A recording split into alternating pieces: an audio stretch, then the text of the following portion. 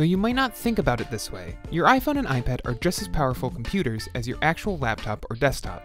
With full suites of software, you might find that you have dozens or even hundreds of apps installed on your phone or tablet. And while plenty of iOS apps are useful to keep around, it's always a great idea to declutter. Let's take spring cleaning to your iPhone and look at how to delete apps quickly on iOS.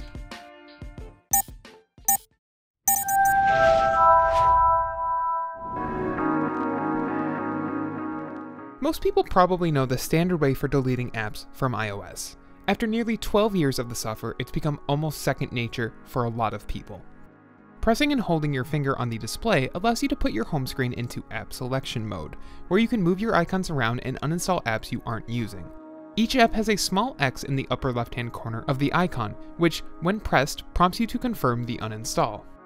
On devices with 3D Touch, you'll always want to make sure you aren't pressing too hard on the screen, or you'll end up launching a shortcut menu by accident. Of course, for those with poor motor skills or with dozens of apps to uninstall at once, this method can be a bit tedious.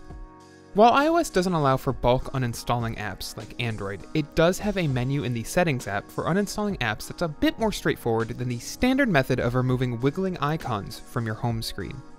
Dive into the settings menu of your iOS device, click General, then click iPhone or iPad storage, depending on your device.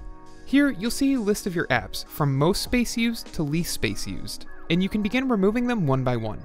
You can also view when the app was last used, which makes it easy to judge whether the software is worth keeping installed.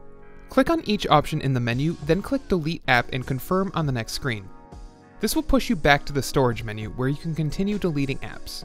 It's a bit faster than deleting them from your home screen, and if you're trying to manage hundreds of apps at once, this method adds some clarity and organization to your app library.